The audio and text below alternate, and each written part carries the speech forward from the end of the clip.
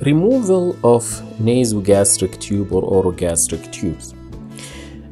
First of all, when? So, as we talked before, on any equipment, as soon the indication is or has resolved, right?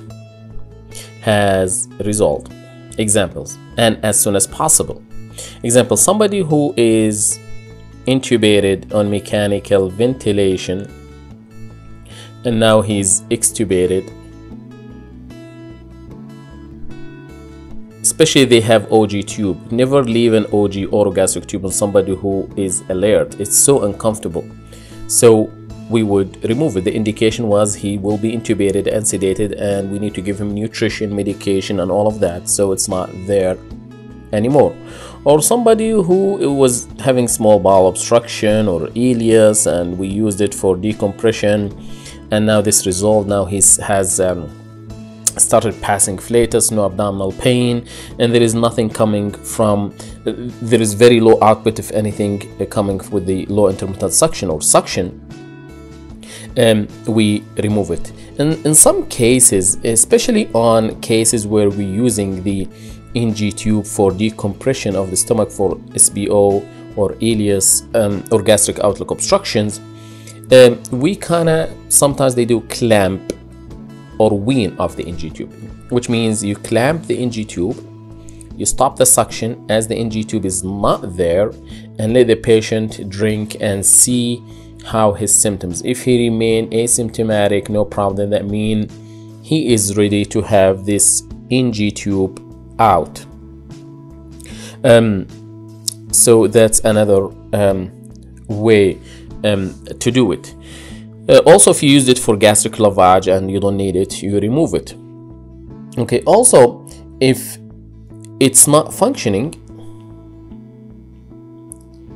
and you try to fix the problem but it's not being it's not fixable it's not you are unable to make it functioning then you remove it. Also if start if you started having bleeding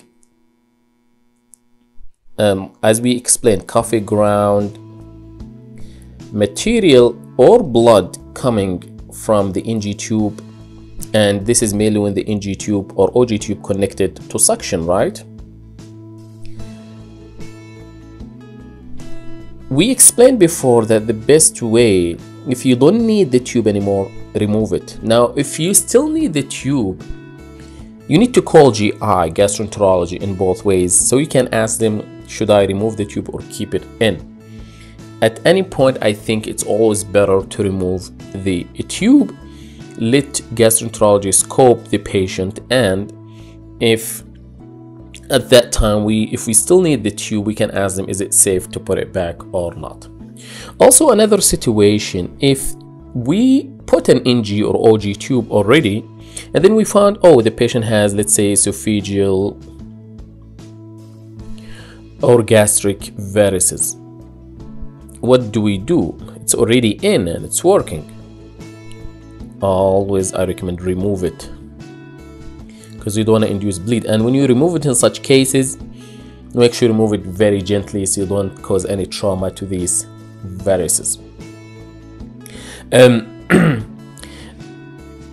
also, if part of your daily round on a patient with an NG tube and found some wounds or signs of necrosis or pressure injury around where the NG tube is secured, also remove it please. Also, if part of your daily round you notice the patient has signs of acute abdomen or there is free air under diaphragm and that's you saw it on chest x-ray also remove. Okay? Also let's continue. If if the uh, positioning is not confirmed uh, or you cannot. We cannot confirm the positioning. We did multiple x-rays still it's hard to see the tips or if there is any suspicion remove it.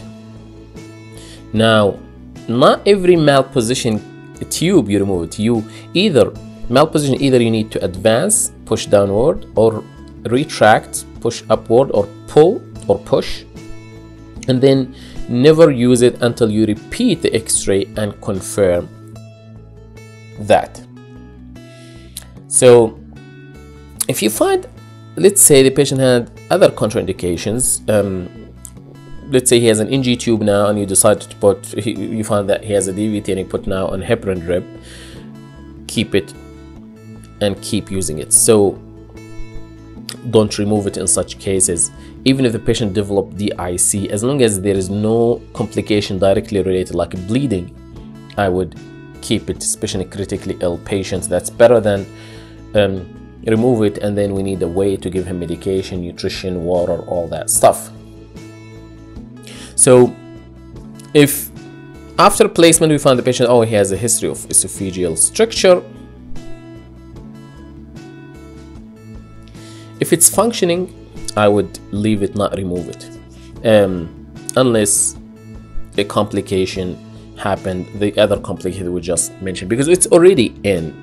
And no complication happened while inserting because we didn't know. But if we knew about it we should have not placed it to start with. So now you decide to remove it. Removal process is straightforward and easy and usually performed by nurses and by resident as well. But it can be easily performed by nurses. Of course you need to remove the tape how the NG tube is secured or OG and then pull it. The only problem I've, you may say it's very rare is you find resistance in pulling the tube NG tube out and if you encounter this problem, please leave it in and then call GI if they can't figure it out uh, or intervention radiology or sometimes surgery. Because the possible problem that there is some anatomical problems now it encountered. All the the tube is knotted um, like a knot there is and so it's easy and i advise you as a resident don't try just to try to pull it strongly. You may you may cause injury and trauma. You want to avoid that. That somebody should see where is the tube and see how it looks and like direct visualization whether with the endoscopy or x-ray. Now what if we still need still need NG tube or OG tube. The patient is not still not able to swallow or reason uh, and that's the main indication. I, have hardly seen somebody need suction that long. But mainly with the nutrition and the patient inability to swallow sometimes that goes beyond two weeks. And if that's the case we have to start talking to the patients and or family about long-term alternatives.